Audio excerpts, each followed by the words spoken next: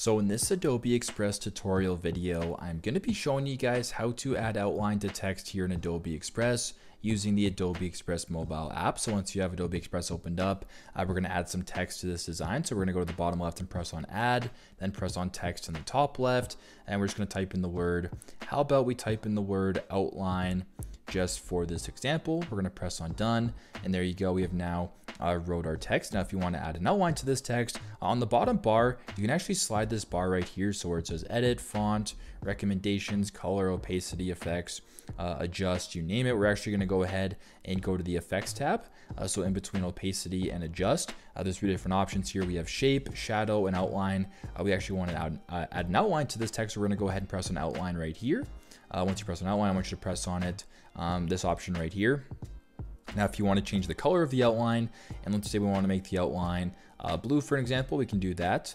Uh, we'll press on done. If you want to make the line thickness bigger or smaller, you can just slide this bar to the right, making it more thick, slide it to the left, left making it less thick. If you're fine with it, just press on done. And basically, uh, that is how you guys can add outline to text here in Adobe Express using the Adobe Express mobile app. I hope this video helped.